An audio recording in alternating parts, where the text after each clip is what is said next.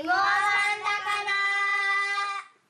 は真んだかなお菓子を求めて近所の家を巡ります。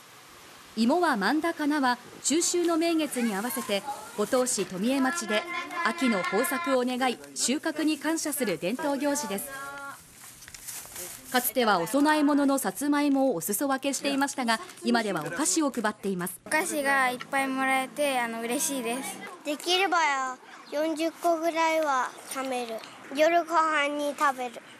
昔から私たちもね小さい時にしたから懐かしいですやっぱり。楽しませたいなと思っていつも楽しみながら準備してます。嬉しいです。子供と会えてですね。